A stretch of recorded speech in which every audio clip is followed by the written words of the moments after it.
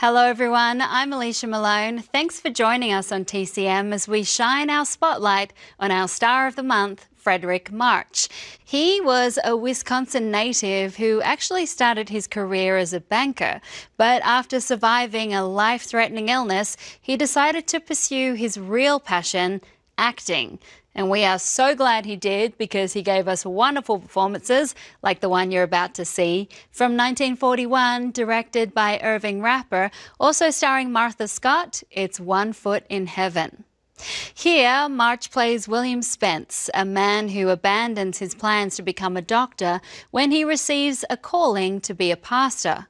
He and his wife move from Canada to the US so he can work in a local church, and there they suffer a lot of ups and downs, but also raise a loving family.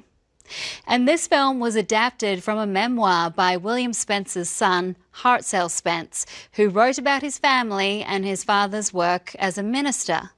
When he sold the film rights to Warner Brothers, his mother said she had only one actor in mind to play her husband, Fredric March. And the studio agreed. And then, when Mrs. Spence was invited to set later on and met Fredric March, she reportedly said He's almost as good looking as well. Warner Brothers also brought Minister Dr. Norman Vincent Peale onto the set as a technical advisor, but while his help was appreciated, the cast and crew felt under pressure to be on their best behaviour in front of him. In the end, the film was a great success, getting an Academy Award nomination for Best Picture.